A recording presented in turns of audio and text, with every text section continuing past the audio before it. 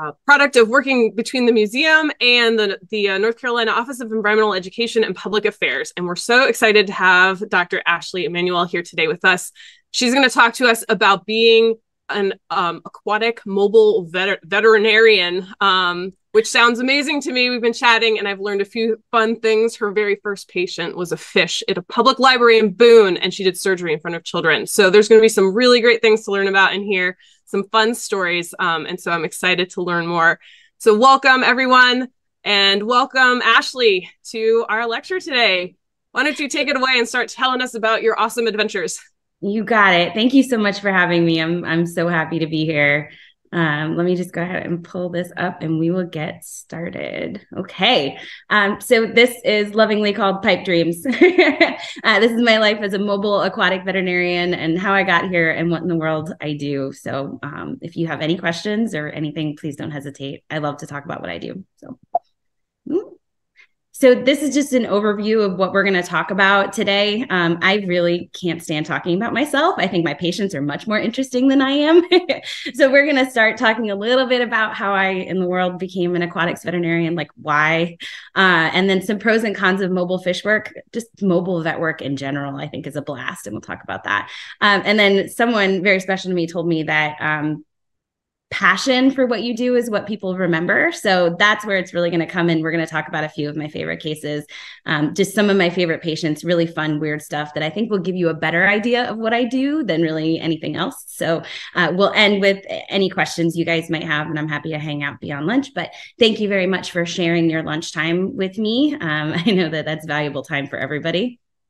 Speaking of lunch, I did want to give a couple of heads ups that I um, I am a veterinarian and I have lots of gross stories. And so we do talk a little bit in this talk about um, mucus parasites there's some eyeballs um, in one video just because i'm really bad at taking videos through my microscope it like flashes a little bit and i'll give you guys a heads up when that comes if that gives you a headache um, also, I'm at home right now, and my cat generally leaves me alone unless I need to be on Zoom. So she'll probably come and visit at some point, and my dog may yell at me through the door. So apologies in advance for all of that. I hope you're having like a number five oyster toadfish day today and feeling really good about things. But and by the end of it, we're all going to be nines. We're all going to be happy and super psyched about about fish medicine. I like to start my talks out with a little bit about my credentials. Um, in veterinary school, one of our professors always used to start her talks like this. And the thought was, uh, what right do I have to be here talking to you? uh, so I like to explain a little bit about like where in the world I came from. Um, I grew up in New Jersey and then I went to Roger Williams University in Bristol, Rhode Island, where I got a BS in marine biology. Prior to going to college, I raised a California mudflat octopus, which is the picture that you see there, in my high school biology classroom because I had maxed out all of my high school science credits and just needed more. So I got an independent study and raised an octopus, and it was just game over from there. That's that was destiny. Um, while I was in college, I did research for three and a half years on the common cuttlefish, which is Sepia officinalis. That's a very fancy male that's showing off right there. So he's obviously there's a lady somewhere. Um, but I hatched little tiny babies out of eggs and just fed them and basically spent every break at college trying to take care of these guys. And it was just the most fulfilling thing ever. I learned really quickly that I'm terrible at research and that probably a career as like a PhD or something was not for me. Um, but when a couple of my animals got sick, it sparked something in my brain, just providing healthcare for these unusual animals. And I was like, oh, okay, there it is. My path started to kind of slowly narrow itself down. So thank you to my cuttlefish for helping me figure that out. Um, once I decided I wanted to go to vet school, I started volunteering at the Roger Williams Park Zoo in Providence, Rhode Island. That's a Saki monkey, and it was the first patient I ever saw get anesthetized. And it was so overwhelming to me that I almost passed out. so I had a second where I was like, maybe I shouldn't be a veterinarian. But it turns out I just shouldn't be a vet for monkeys because fish don't do the same thing to me. Um, after I graduated, I moved down to North Carolina, and people familiar with the museum should recognize at least the picture on the right. that is on the first floor of the older wing of the museum. And I did do my due diligence and pay my dues by crawling into small spaces and plumbing and scrubbing out disgusting tanks while that diamondback terrapin tried to bite me every single time. I think that terrapin's probably still there being hateful. Um, but I did that for a couple of years. And then I was just telling Melissa too that I actually found out in the stairwell of the museum. Oh my gosh. Oh my gosh. Hang on. now you guys get to see that. There we go. Okay, hi. um, I found out in the stairwell of the museum that I was going to vet school. So um, my history with the museum goes way back and definitely has a really special place in my heart. But I did eventually go to vet school um, at NC State at graduation, the vet students are always the really obvious ones because we blow up palpation sleeves and use them as thunder sticks and just generally kind of act up. Um, so did eventually get my veterinary degree. And then I worked for five years at an exotics exclusive, really busy practice where I became the first certified aquatic vet in North Carolina. Um, at the time that I got that certification, there was about 75 or 80 of us in the world. And I think now we're pushing up into like 130 or something like that. So it's great. There's um, more and more vets getting interested in fish. I had a really good time. Um, we're not talking about any of these cases today, so no giveaways, but that is Misty um, in the library, my very first patient when I opened Oak City Aquatics. so after five years in a really busy clinic, I just decided, you know what, I think it's time to finally act on this dream and opened Oak City Aquatics. So um, Oak City Aquatics is coming up on their on their third birthday, second birthday, second birthday in June, and it's just been the most fun. So enough about me. Let's get cracking. Let's start talking about what it's actually like being a fish veterinarian. Um, people are surprised that even I exist. And they're even more surprised when I tell them that there's like more of us and we do all kinds of crazy things, not just mobile fish work like I do. So I fall into the category of doing pet fish work. Um, but there's also food and bait fish veterinarians. There's lab animal veterinarians who primarily are focused on zebrafish, but do work with other animals. Um, and then there's natural resources and hatchery veterinarians. We're all over the country, we're all over the world. Um, right now, there's no actual board. So if you hear like a boarded veterinarian, we don't have a true board. The certification that I have is the highest thing that we can get for right now. But a board is actually in the works, and it's looking like in the next year or two, there will be boarded fish vets. It's going to be amazing. I'm really excited.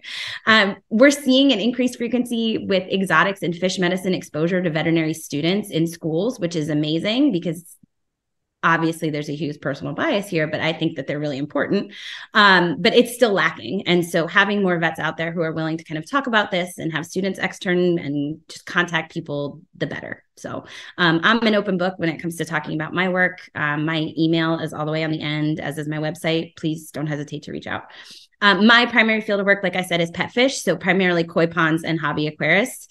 And we do have koi ponds all over the state here. I do um, answer some questions every once in a while for a few of our hatcheries that are primarily out in the western part, but they have um, other people that they work with. So it's okay. I'll stick with my koi. So the ins and outs of mobile fish practice. I thought that maybe it would be easier just to um, show you guys, and I'm hoping that this plays. It does. So I just love being outside. Um, I joke that I'm basically a plant with feelings. So I like being in the sun. I like having dirt. Um, you know, I just really have a great time. And I have some really wonderful clients that let me film silly little videos that demonstrate kind of what I do. So this is one of my favorite clients. Um, this fish is getting sleepy. It's not getting euthanized, it's getting sleepy. But we have to sedate them in order to do some exams. And this is the flash warning. I'm sorry, it's already happening. But um, two different kinds of external parasites kind of gives you the heaves but these fish presented as just being kind of itchy and flashing and acting kind of dumpy. Um, but this is just a good overview of what my work kind of looks like in a in a nutshell. And then i get to go home um, and get some more sunshine on my face but we'll talk a little bit more about it. I I am a huge champion of mobile practice, not just for fish. Um, I mean, I think definitely for fish, but I think for a lot of other patients too. For my patients, particularly, seeing the fish in their home environment is huge. Um, fish live in a toilet bowl if you think about it. You know, even with the best filtration, they live in a place where they eat and go to the bathroom, and there's parasites and there's other fish. And if they're outside, there's like birds and I had one fish that got attacked by either a bobcat or a bear. We never really figured it out. But getting to see where they live is so important for these guys and getting to return them to their own home environment has a huge impact on their recovery outcomes. So I will literally do surgery right next to the pond and then recover the fish in the pond. And they do so much better. Um, and I really love this video of Ginkgo. She had a procedure on her eye and she was recovering from sedation. And you could see her buddies over in the corner, like waiting for her as she was recovering. And it was so sweet. Like she just swam right off when we were done and she had a great time. But that's a great example that these guys, um, um, I think, have more emotional intelligence than we give them. And they are aware when they're alone and they're aware when like a fish disappears. And so having them be able to go back to their buddies is a really big deal for them. Um, I can reduce reinfection because I can treat the whole pond. So if somebody would bring them just bring me just one fish in the clinic, I can treat just that one fish, but I'm going to put it back in this dirty pond and it's going to get sick again. So I can treat everybody. Everybody's not stressed, including the owners, because nobody has to like literally put a fish in a wheelbarrow and put it in the back of their truck, which definitely happened to me. like, you know, people are kind of overwhelmed about how do I get this fish in you.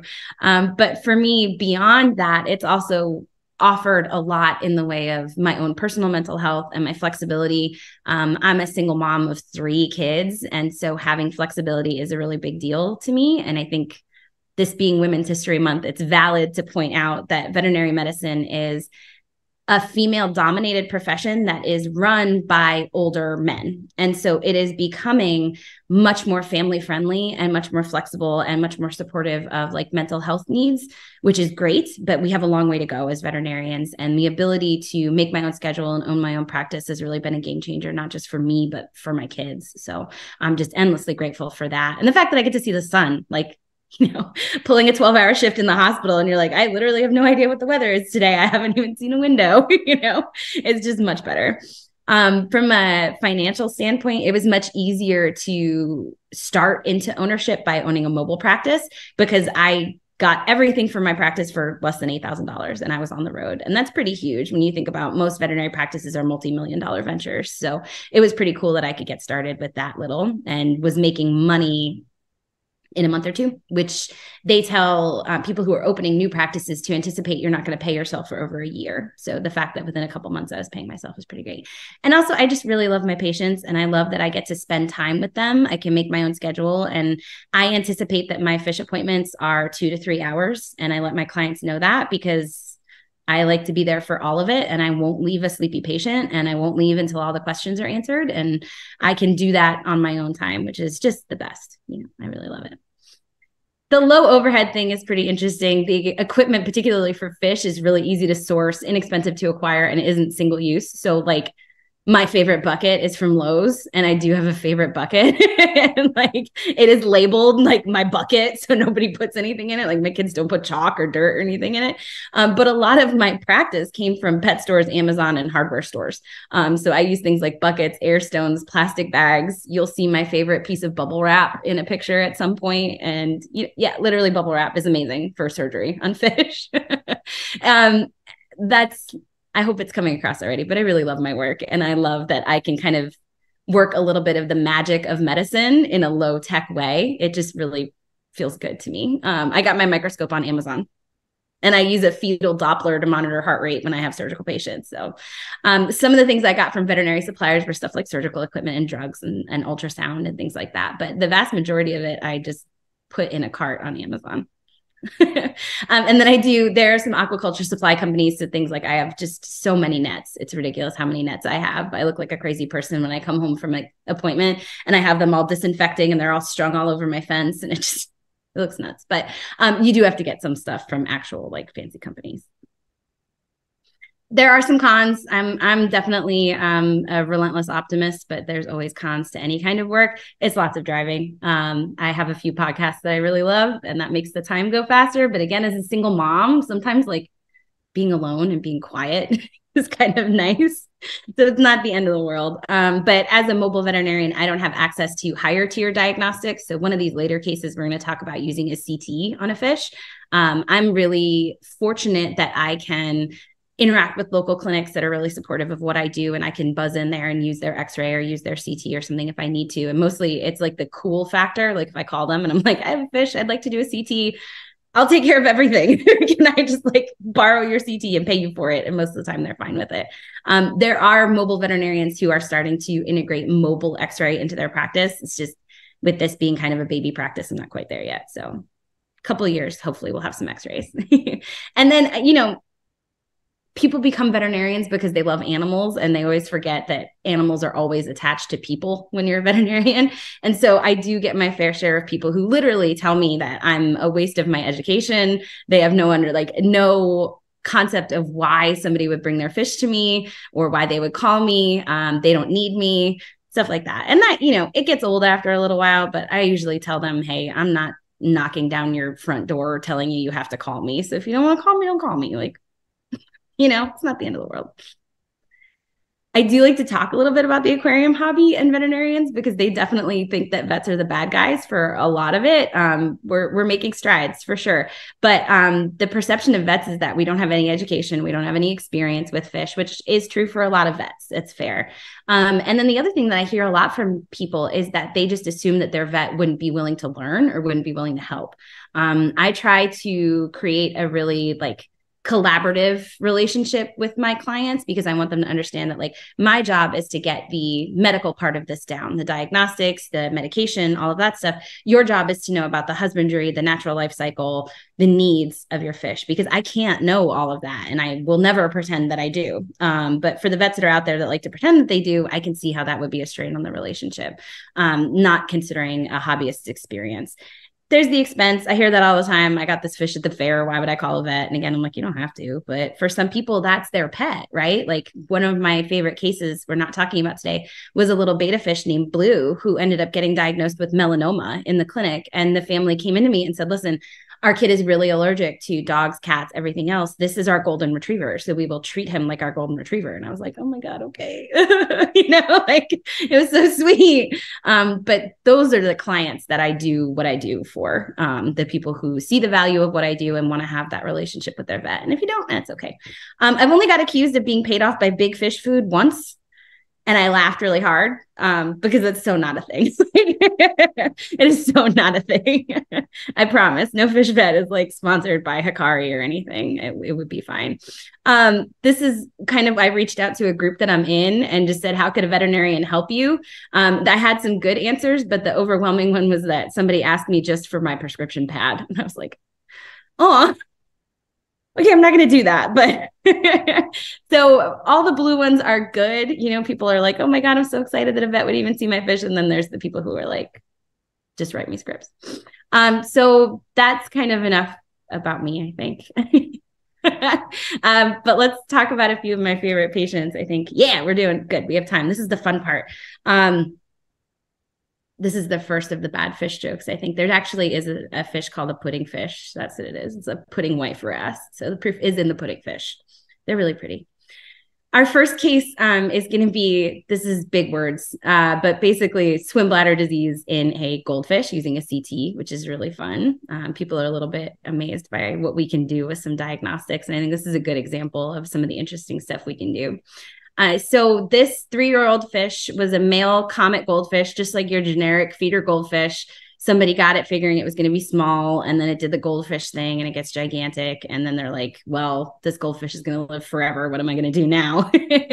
um, his name was Big O. He was about eight inches. So he's a pretty big comet. Um, they were keeping him in a 40 gallon, which is way, way too small for a fish of his size, let alone with four other fish.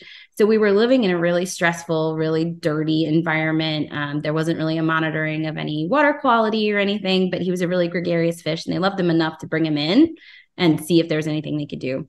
Um, they came in saying that he was negatively buoyant, meaning that he couldn't get off the bottom of the tank. Uh, he just was kind of like scooting around on his belly and not really getting much lift.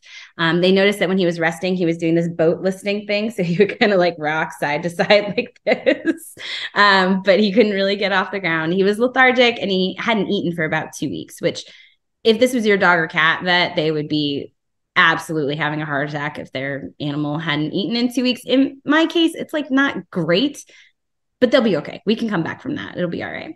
Um, again, water quality wasn't monitored. So think about going back to this environmental concern, right? We have to worry. It's like air quality for us. You know, if our air quality is bad, then we're going to get sick. If their water quality is bad, they're definitely going to get sick. They hadn't additionally added any new um, fish or anything. They hadn't put them in a pond. And amazingly, I say amazingly, these owners hadn't tried anything yet because the vast majority of my patients come in and these owners have these huge bags of stuff that they just went to the pet store and just were like with the shelf and dumped everything in and they dump all this stuff in.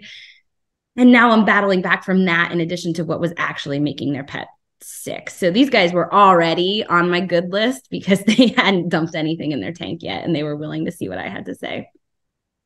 When I was checking him out, he was doing something what's called clamped fins. So think about like this fish that you see here, right? The fins are extended, they look nice and normal, they're not tattered. We're using them for mobility and stability. This fish was holding his fins like just flat up against his body, which is part of the reason probably why he was listing. He couldn't really balance himself.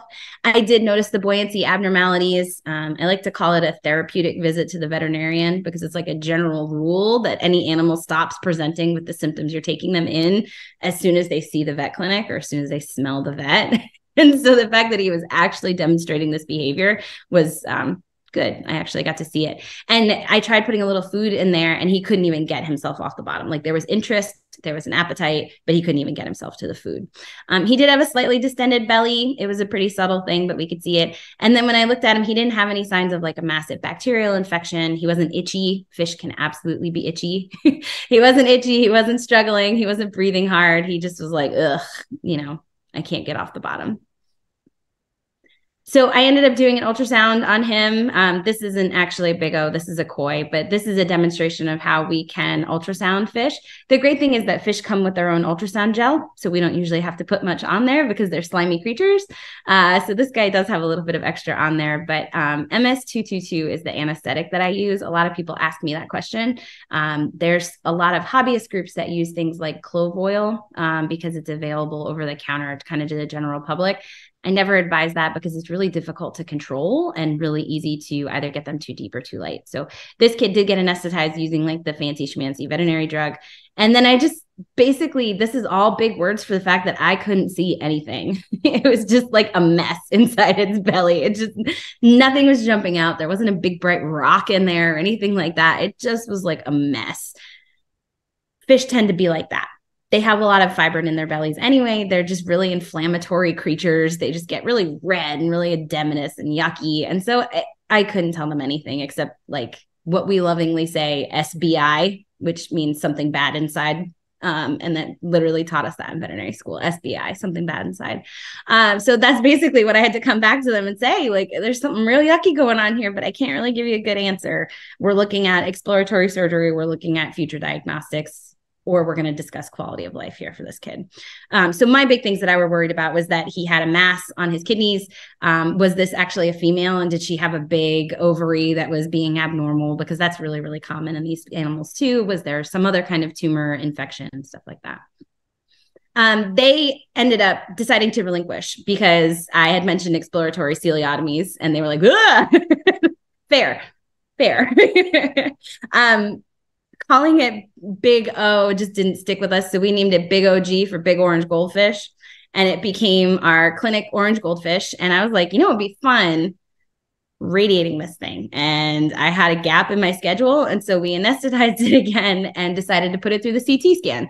Um, we had just relatively gotten a new CT scan. And so we were in a phase where we were putting everything through it just for fun, like tarantulas and all kinds of stuff, just like it's like the will it blend infomercial, but we were like, will it scan? You know, like that's how you learn, particularly in exotics where there isn't a ton of education out there. We learn through experimentation. And so I was like, let's do it.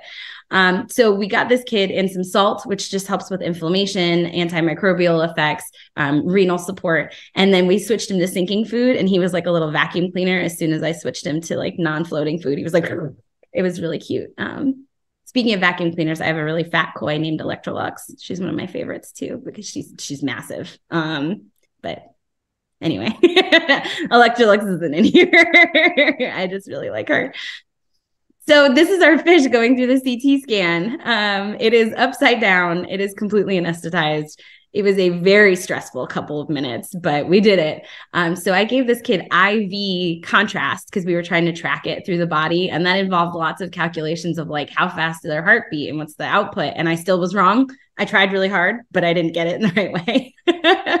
but again, we learned from experimentation, right? So I gave this kid some IV um, contrast media, and then we did three different scans on this kiddo. And in between, we had it back in its bucket of anesthesia and amazingly we did it. The sedation level was adequate enough that this creature was still enough for us to get what's called a helical scan which means the ct is continuously moving and taking images then. Um, the more detailed scan is what's called axial. So the whole apparatus will move and take an image and then move and take an image and then move. And that just takes way longer. And i'm like we don't have time for that. So we did this like real fast one. Um, and we ended up getting some really good information at least. Um, but this is one of my favorite pictures because I was notorious for just asking my technicians to do really weird stuff like this. And this was my tech today. She's actually at the Brevard Zoo in Florida now, and she's amazing. But she was like, You want me to do what? I'm like, We're going to make this fish sleepy. We're going to shoot it through the CT. It's going to be fine.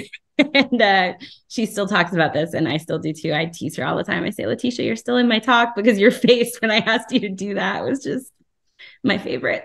Um, so this is a sagittal section of the CT, and I know that it kind of just looks like snow, but I'm going to explain to you what we're looking at. So um, this white kind of almost looks like a necklace, kind of running midway through our upside down fish is the spinal cord and the vertebrae, and then right above it we see two kind of half bubbles. So those are the two chambers of the swim bladder on CT, they should be totally black because gas is black on CT. But what we see is that they're partially and almost fully, in the case of the cranial swim bladder, full of something. Um, so something that looks, it could be soft tissue, but we know that this fish is upside down and we know that fluid moves with gravity, right? So we know that this is fluid. Um, so this kid had a whole bunch of fluid in his swim bladder and we diagnosed it on CT. Not a thing that we would have been ever, ever, ever able to see on ultrasound because the surface of the swim bladder is really refractile and it just, you can't see anything on ultrasound. Even on x ray, it's questionable how much you can get. And so the fact that we had this with this level of clarity was amazing and a really big deal. Um, so as, as, this kid was waking up, I did pneumocystocentesis, which is just a really big word for the fact that I poked a needle in both chambers of the swim bladder, sucked out as much fluid as I could, crossed my fingers that I put enough air back in to make this kid positively buoyant again. And then we sent off the fluid for a culture because we wanted to know what was growing in there. Um, and then in cytology, I just put some on a slide and I I rely on pathologists to know what they're doing so I can kind of pretend. But basically, I was like, ooh, there's bacteria, right? like, and we were looking for something called mycobacteriosis, which is really common in fish patients, and we weren't seeing it, which is great news because mycobacteriosis is is basically terminal in fish. There's nothing that we can do to recover them from this. So the fact that we didn't see that um, gave us a lot of hope, which is great news. So we were like, okay, cool. We're going to start this kid on antibiotic injections while we wait for culture results because they take eight years to come back. And then we got our culture results back. The good thing to focus on is that I picked the right antibiotic just by chance. uh, so immediately following aspiration, this kid recovered and was positively buoyant again. So was off the ground, swimming, doing awesome. Was like, oh my god, what happened? Uh, and then within five days after aspiration and starting the antibiotics, uh, we had a complete resolution of symptoms. So we had to do a little bit of like PT, like this kid building those muscles back up because they'd been negatively buoyant for so long, but five days was all it took for this fish to look like a completely normal fish again. And then just for funsies, because it was still in the hospital, we repeated the CT scan one month following the initial scan, and we had no evidence of fluid in either chamber. So on the right side of the screen is the initial scans, and this is the, I believe, cranial swim bladder. And then on the left, we have the one month post scans. So that is a normally shaped, full of air swim bladder, which is very exciting. And then this is the caudal swim bladder. I like this one because you can see the really distinct fluid line in there and I just like CTs in general because they look like silly faces. But um, speaking of, this was just another screen grab that I got because CTs always come out with stuff like this. this vision's fine. It's just what it looks like. It looks totally terrified. But um, the cool thing is that at the time that I was doing this, this was a new thing that people were just starting to play with.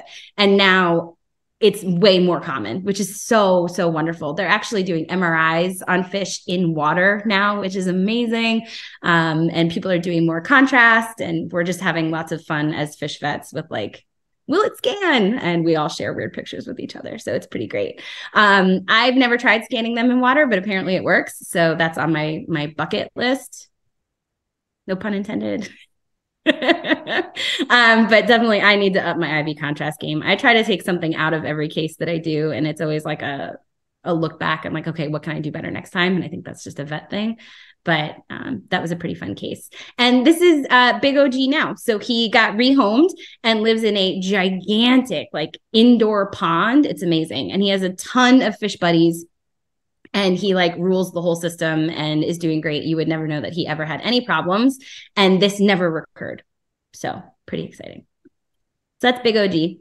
Um, this is the trigger warning where I tell you if you're eating your lunch, we're going to talk about poop next. So That's normal. Give everybody a moment to mute me if they need to.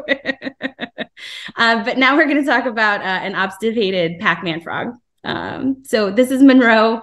He's a three-year-old Pac-Man frog, and he hadn't pooped in a couple of weeks. Um, his owner was my vet tech, who's just a, an amazing, kind human being and who was so upset that he wasn't doing well. Um, this was one of our will it scan patients. We just put him through the CT too, just like for fun. We're like, let's see what a frog looks like. So he'd been a very good little volunteer. He definitely needed some help. And I was like, bring him on in. We're going to deal with him. But um, with these guys, a lot of times constipation comes from just being like subacutely dehydrated. So I was like, soak him, that'll do it. And it didn't work. And then we tried massaging his belly, which went about as well as you can imagine. he's basically like a little baseball with a big angry mouth and it just it didn't work um, so we were like okay well let's try and figure out what in the world we can do with this kid uh, so I put him in a Ziploc bag and ultrasounded him. uh, that's what I do for a lot of my patients that would be reactive or uncomfortable with handling for any reason. So I will examine them through a Ziploc bag. I'll give injections through a Ziploc bag. I'll ultrasound them, stuff like that. Um, axolotls particularly do really well in like sandwich size bags. But anyway, our big concern was could this be um, accidentally his substrate? Had he eaten too much of his like coconut bark? Could it be a foreign body? Um, was he obstructed for something else? These guys are all mouth basically. They're like mouth and tiny little tick legs. And so it's not uncommon for them to eat something they're not supposed to. It's a pretty standard thing for pac-man frogs. Um, so we we put everything on you know on our list. And when we did an ultrasound we were looking for fabric plastic a tumor. And SBI, see, I told you it's an actual thing that veterinarians. So pop quiz, think to yourself, do you remember what SBI means? something bad inside. So we were just looking for something bad inside.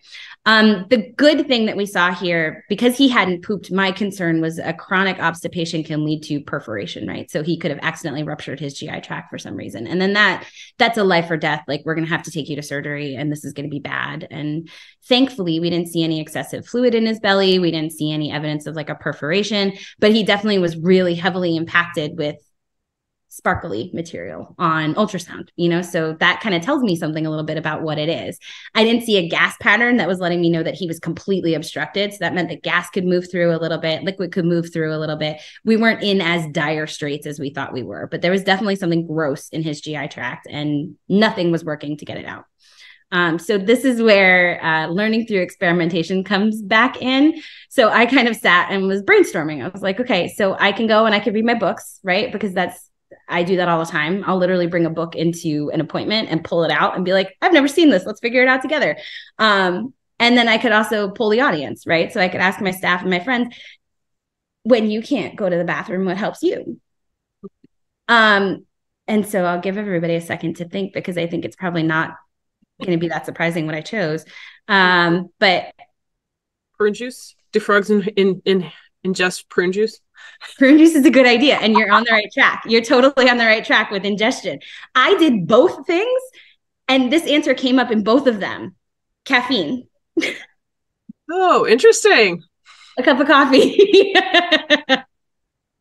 um, so, yeah, like cheers.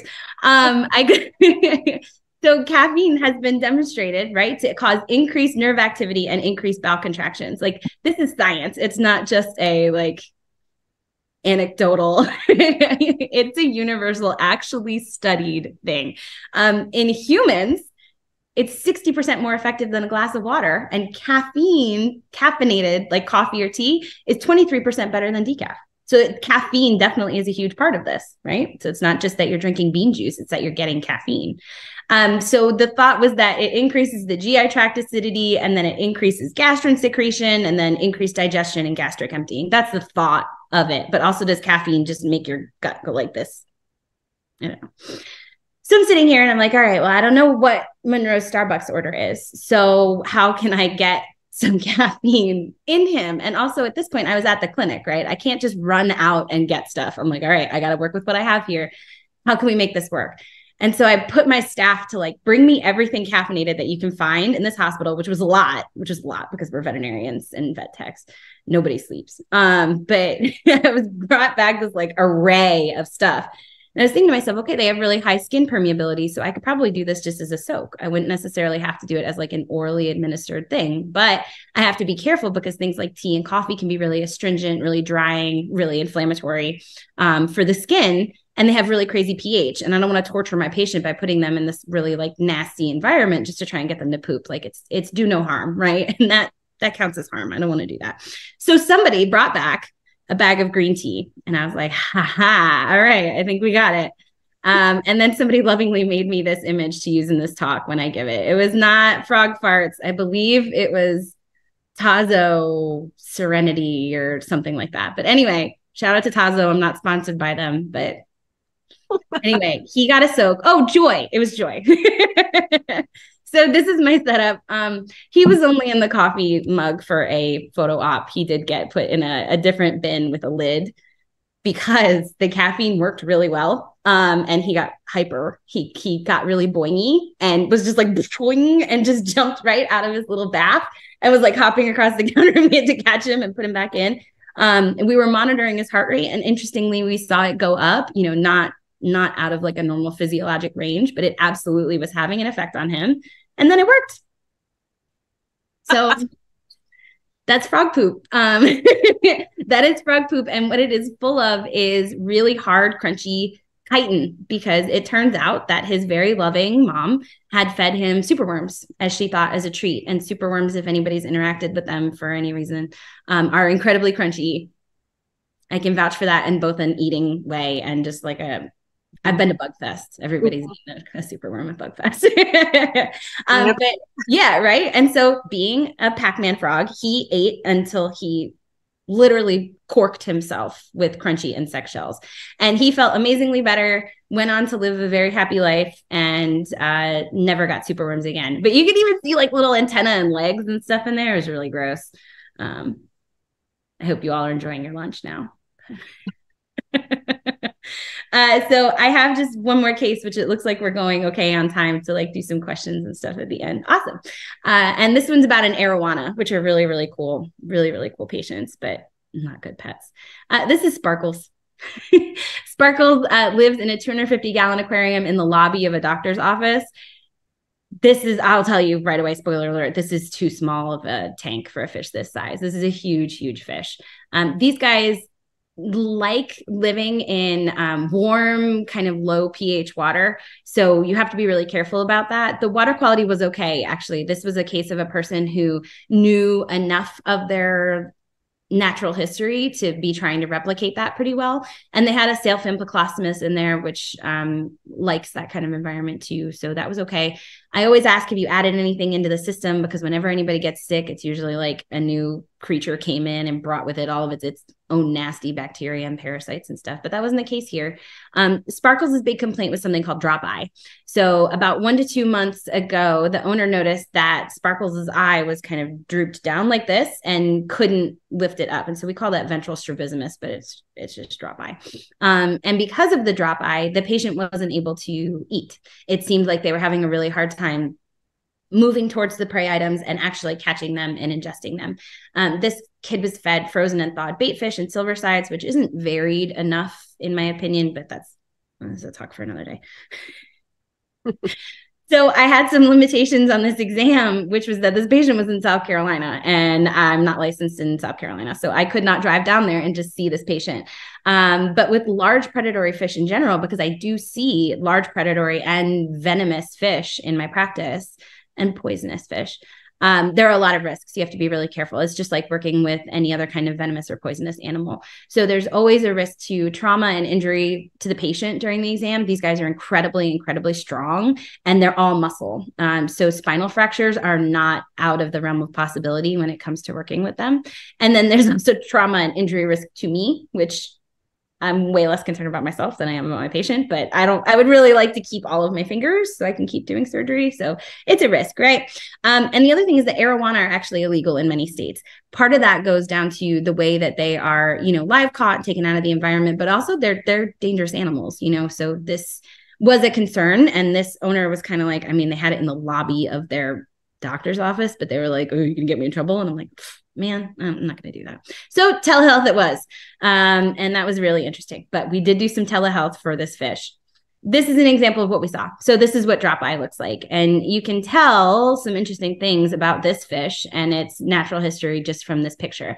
So what we have is a really large mouth that's oriented um, almost completely vertically, right? And it's pointed up at the surface. So these guys are surface feeders. Um, and they catch all of their fish from up. So normally their eyes are oriented up like this, so they can see what's swimming around up above them, and they can kind of come under it and get it in and eat. Um, this kid had ventral strabismus in both eyes, but just anecdotally, it looked like the right eye was worse than the left. This is a fat fish because it was not being fed the right way. But the good thing was was that it wasn't it we weren't seeing any signs of trauma or anything. These guys have, you know, bony orbits. This is a bony fish. And so they can get fractures around their eyes just like anybody else can. And I was worried that that may have been part of the issue. The environment was small, but um, they they were doing okay with arowana, you want to make sure that there's substrate on the bottom. So there's something, obviously, not something that they can get in their mouths, but the reflection could be causing them to look down more than up. And so that would have been really confusing for this guy. And they had that. The lid was secured and weighted. You would be amazed how many people with these large, strong fish don't have a lid. And then they call me and they're like, it jumped out. I'm like, okay, did you get it back in? And then let's deal with it from there. But thankfully, this lid was not only secured, but it was weighted and the water quality was appropriate for the species. So we were eliminating a lot of that stuff. I really like eyeballs, so I want to talk about them for just a second. Again, grossing everybody out right now. Um, but this is like a, a kind of standard fish eyeball. The cool thing to note about them is that their lenses are perfectly circular which helps kind of change the refraction angle because if you think about it water messes with refraction angles anyway.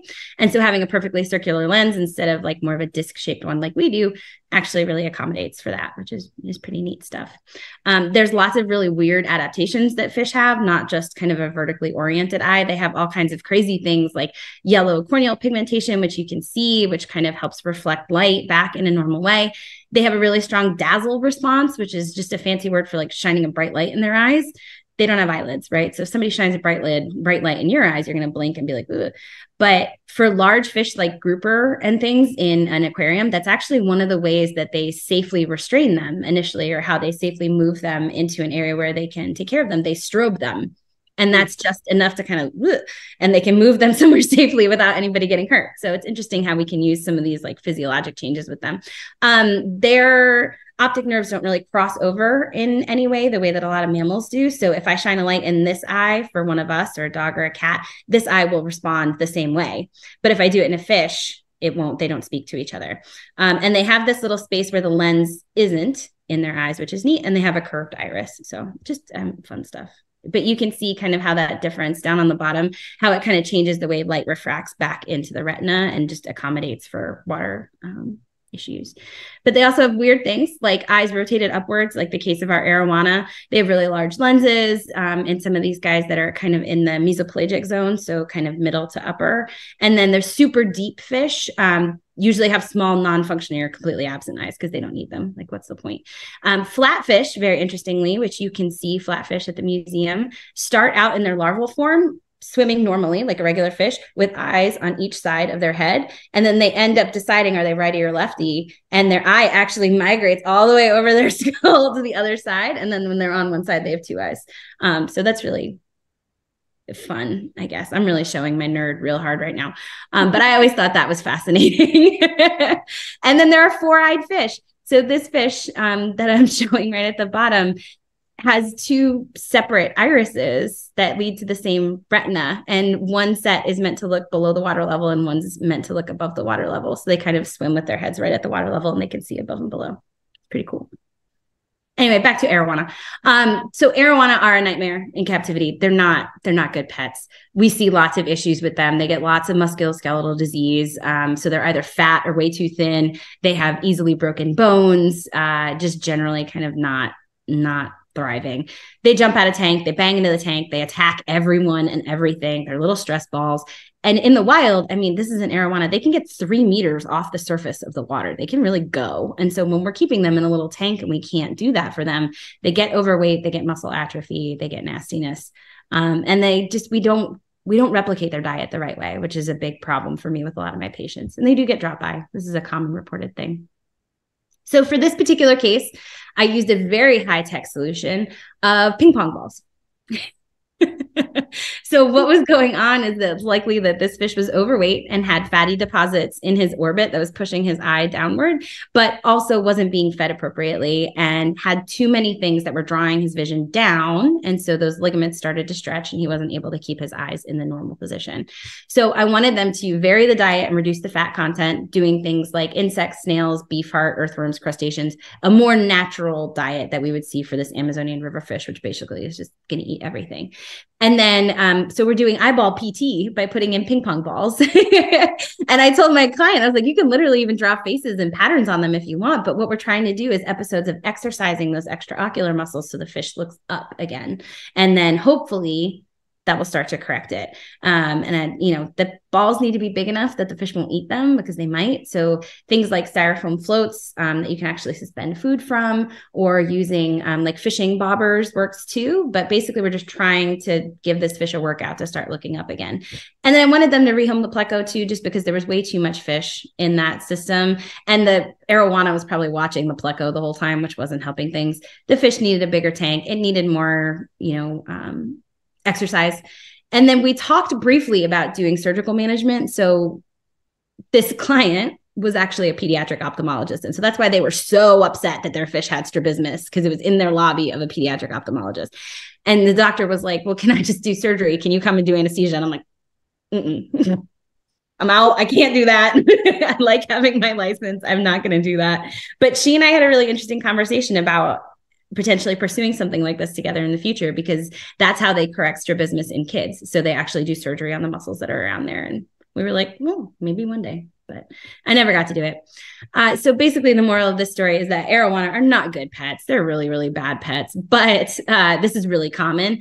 And then in about one to two months, we got a little bit of improvement. Uh, it's hard to say whether it was PT or it was not being so chubby, but this is one of those things that is unsightly but not life threatening. So interesting to learn about, but not too much.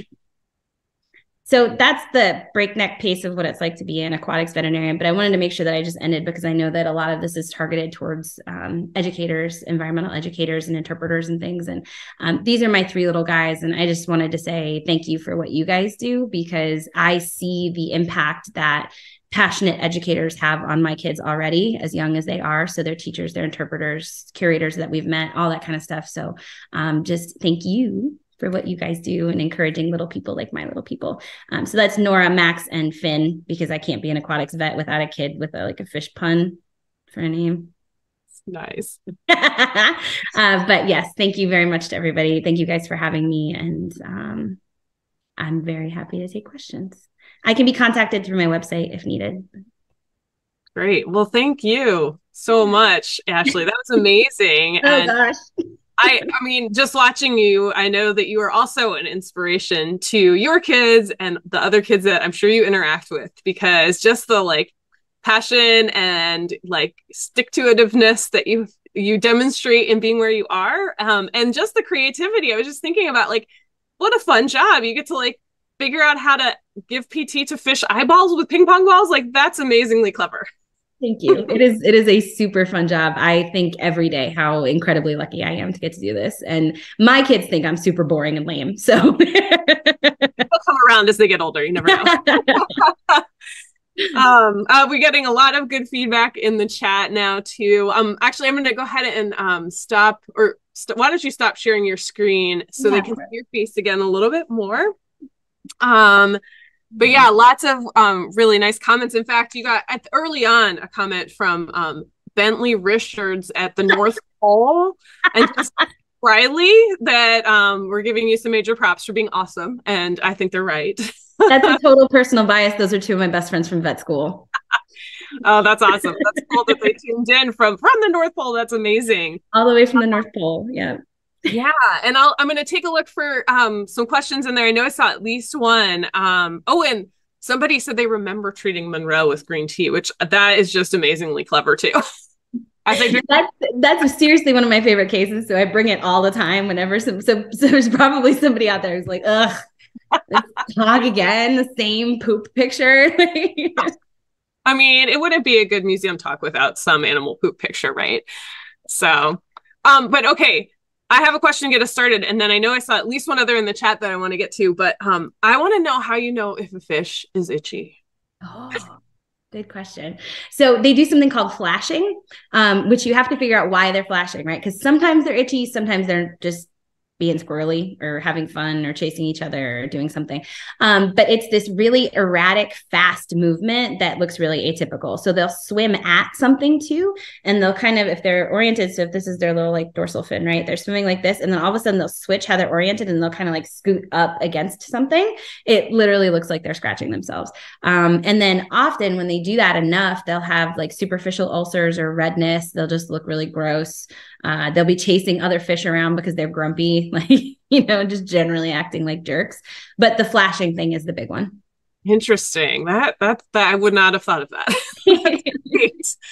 um, we had a question from Kim Sue who asked, How do you sedate a fish? And then how long can they stay out of the water without dying? Yeah. So um, I mentioned two of the things that are most commonly used. So MS222 is what I use. It's a chemical anesthetic. And the really cool thing about it is that it comes dried and powdered. So we put it in the water doing math to get to the right concentration. And we know there's lots of studies that vary based on species of fish and water temperature and yada yada, but we know general ranges. And so we put it in there. And then what happens is it dissolves and gets taken up in their gills, the same way that an inhaled anesthetic would get taken up in our lungs for us, because the gills are very, very similar to lungs. What we go is we go all the way down to the level of a single capillary, so one red blood cell at a time moving through it. And that gives enough exposure to the outside environment that we can get this countercurrent circulation circulation, right? So things move across a gradient by osmosis and there isn't a lot of anesthesia in the fish so the anesthesia goes into the fish. And then when we put them back in fresh water that anesthesia moves out of their bloodstream into the regular water. And you have to be careful to not re-anesthetize them but that's how we recover them just in regular water. Um, and then they can be you know it varies by fish. Um, they can be out of the water for a couple minutes and be just fine. We do what I call basting them. so we do like spray them off with water, but I do surgery on fish completely out of water. Um, when I'm maintaining them for surgery, what I do is I take the anesthetized water and I use a small aquarium pump attached to a hose and I feed it into their mouth and we position it in a way that it runs out and over both of their gills. So their bodies are out of water and I can do surgically um, everything that I need to do, but it's like they're still breathing underwater. So Oh wow! I never would have thought you could do that to a fish. That's, that's like a reverse scuba.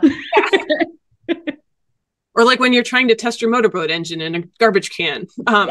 Yeah, exactly, exactly. Only I shoved that pipe in their mouth. yeah, exactly. but yeah, the first time anybody sees that, it totally blows their mind, and then they're like, "Wow, that's that's really straightforward." like it really is. It sounds kind of magical, but it's just an aquarium pump I got on Amazon hey, we're doing a lot with a little. That's great. That's a skill too. Um, so um, I had another question too. I was wondering, you you hinted at this earlier that you use bubble wrap in surgery, and you have a favorite piece of bubble wrap. I feel like- I do. One specific piece that I love.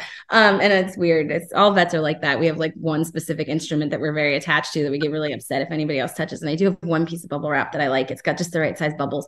Um, but I use it as a liner for my um, my surgical setup, and then also when I have them out. So I do surgery in a couple different ways, like in a V-shaped trough with foam, kind of supporting them, or I'll do it with them just kind of laying on their sides. And then I always line whatever I need to have them on with that bubble wrap because we're providing a little bit of body support, right? They're not going to get pressure sores or anything like that. But it also provides a little bit of insulation and uh, it keeps them from flying all over the place. so we get a little bit of grip without shredding their mucus coat. um, and I don't mind if it gets wet. I can disinfect it really easily. Uh, it's just generally like a really nice all purpose. but I do have one specific piece of bubble wrap I love. That's great. That's great don't pop the bubbles ever, right? No, no, no. Oh my god, it can't go anywhere near my kids because they're like, ooh. That's what I was gonna say. Please leave this one alone. I'm sure I could replace this, just bubble wrap, but um, I'm already weird enough, you know. um Okay, a couple other questions have popped up. Um, I think Kim Sue also asked that if her sister-in-law has a fish that's sick, can she contact you? Um, I think that was on your last slide, but if you want, I can drop it um, into the chat for you. Oh, sure. Yeah, it's oakcityaquaticsvet.com. Um, and I have a contact through there. Uh, if you call the number, it my practice is just me. like I don't have a receptionist or a tech or anything. So if you call the number, you're gonna get me. Um, but I do telehealth within, you know, certain ex- like rules about different states. But I can also always point somebody in the right direction to find a vet in their state if they're out of the state. Um, the fishvets.org website is the American Association of Fish Veterinarians, and it's like our big nerdy professional organization. Um, and we have a fish vet locator on there, so you can put in your address and find a fish vet near you. But I'm always happy to point people towards it too. Awesome. Um, and then Marty asked, "What's the strangest or most remote location you've gone to in order to treat a pa- patient?" Hmm. Okay, I got to think about that because there's definitely been some weird ones. Um, you know, I got to say that the library was one of the most terrifying for sure. she said there were children there watching you do surgery. Oh God. And, you know, I don't want to like, I don't want to discourage anybody, but also like I was literally doing surgery and I'm like, I'm sorry, I can't answer your questions right now. I will answer them, but my small brain can only do so much at once. And I need to make sure this patient stays alive first. Um, so that was probably the most stressful one.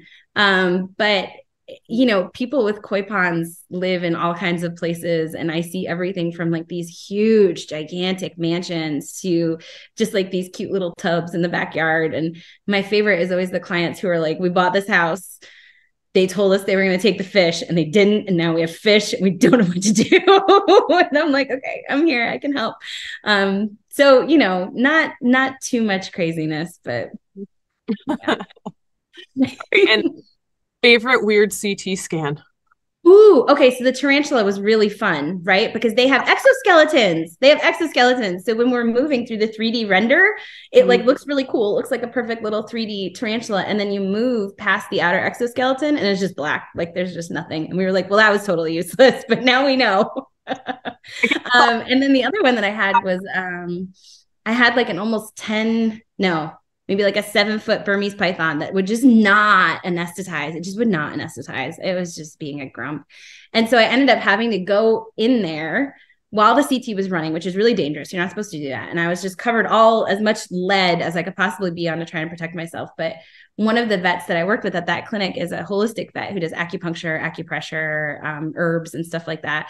And we'd already given this snake like so many drugs. It just no more drugs for this snake, right? So she comes in and she shows me this acupressure point, and she's like, just keep pressing here, and hopefully it stays still long enough for us to get an image. Hmm. And so I was in there, and the snake was so long that we had two surgical tables end to end, just trying to support its body, in addition to the gantry that comes out of the CT. And I was just sitting there, like pressing this and hoping the snake didn't wake up and like try to kill me before the CT finished. And it ended up working, but that was probably one of the crazier ones. Yeah, sounds like it for sure. Yeah. um, well, I, I really appreciate this comment that just came in from Erica Young with Sea Grant. Knowing how to make a backed up frog poop is hands down the best thing I've learned this week. You are welcome. Tea, green tea, not black tea. I think that I think that just sums it up actually. Thank you so much, Ashley. Thank you for joining us, everyone. Um, we'll be back next week at noon on Wednesday with our next um, Women's History Month uh, speaker. And Marty shared in the chat who that's going to be, but it's Alyssa Raffa, meteorologist and climate specialist at Queen City News and Fox Charlotte, who's also working at Discovery Place um, in Charlotte. So join us next week at noon for the next Lunchtime Discovery series. And thank you from the Museum of Natural Sciences and the Office of Environmental Education and Public Affairs. Thank you.